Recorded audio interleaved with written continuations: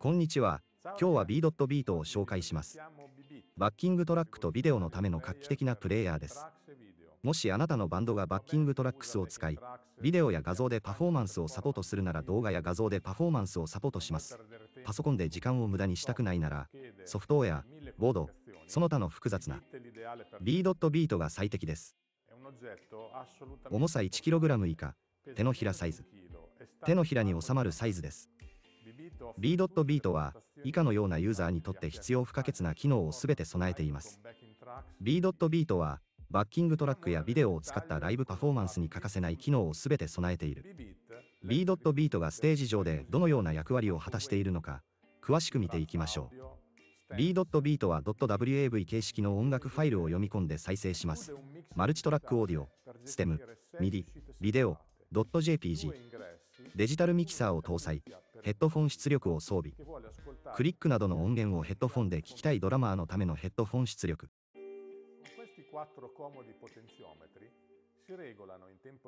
この4つの便利なポテンショメーターで、クリック、バッキングトラック、ステージミキサーからのリターンを管理しながら、ヘッドフォンのリスニングをリアルタイムで調整することができます。B. ビートは、すべてのデジタルオーディオフォーマットに対応しています。MP3 から本格的なマルチトラックオーディオプロジェクトまで。14レージ1分36秒、668レージ1分41秒、168B. ビートは、MP3 から本格的なマルチトラックオーディオプロジェクトまで、あらゆるデジタルオーディオフォーマットを読み込みます。B. ビートは、クリックトラックが存在するとそれを認識し6つの出力のいずれかにルーティングできます。同時にドラマー必須のヘッドフォン出力にも出力されます。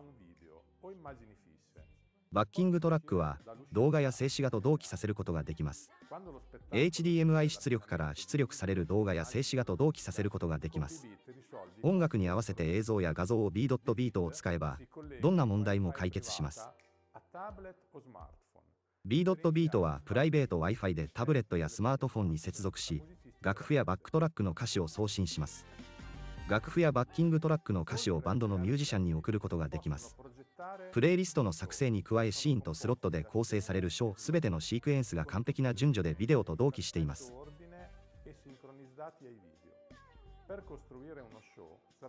ショーを作り上げるには、秒の B. ビートマネージャーアプリをご利用ください。